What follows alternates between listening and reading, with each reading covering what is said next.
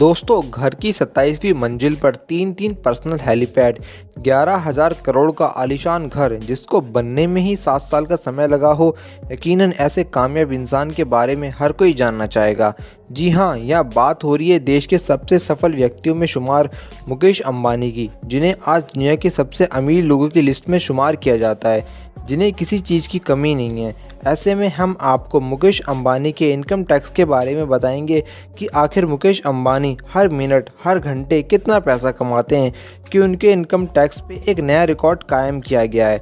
जानने के लिए बने रहिए वीडियो के आखिर तक हमारे साथ। चलिए शुरू करते हैं आज की इस मज़ेदार वीडियो को।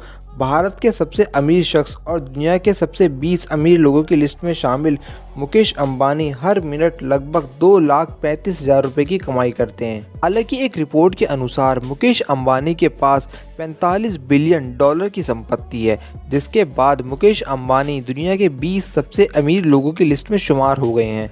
आंकड़े के मुताबिक 2015-16 में रिलायंस इंडस्ट्रीज़ की कमाई सत्ताईस करोड़ रुपए हुई थी कंपनी में बतौर प्रमोटर मुकेश अंबानी की हिस्सेदारी चौवालीस दशमलव सात प्रतिशत है।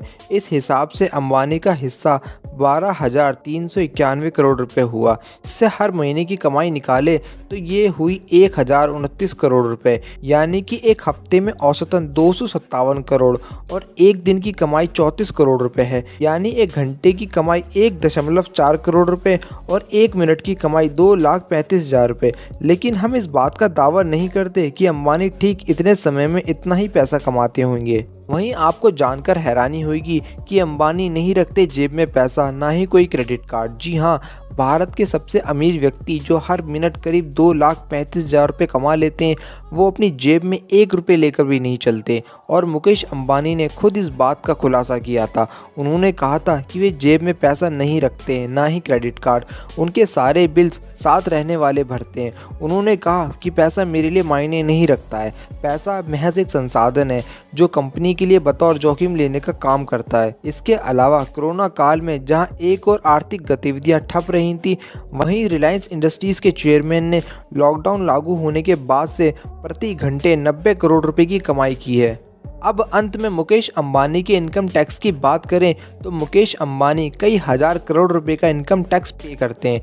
देश की कई कंपनियों का सालाना टर्नओवर भी इतना नहीं होगा जितना वो इनकम टैक्स पे कर देते हैं। आंकड़ों की माने तो मुकेश अंबानी और उनकी कंपनी साल में 9000 करोड़ रुपए का इनकम टैक्स पे करती है, जो अपने आप में एक रिकॉर्ड कहा जा सकता है। कुछ दिन पहले अपने एजीएम में मुकेश अंबानी ने जानकारी देते हुए कहा था कि वो जो जीएसटी सरकार को दिया है, उसका आंकड़ा बयालीस हज़ार पाँच सौ बासठ करोड़ रुपए है।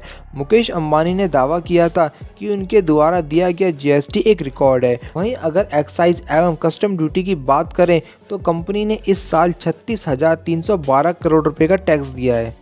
वो भी एक रिकॉर्ड बताया जा रहा था। अगर तीनों तरह के टैक्स को जोड़ दिया जाए सतासी हज़ार आठ सौ चौंतीस करोड़ रुपए है।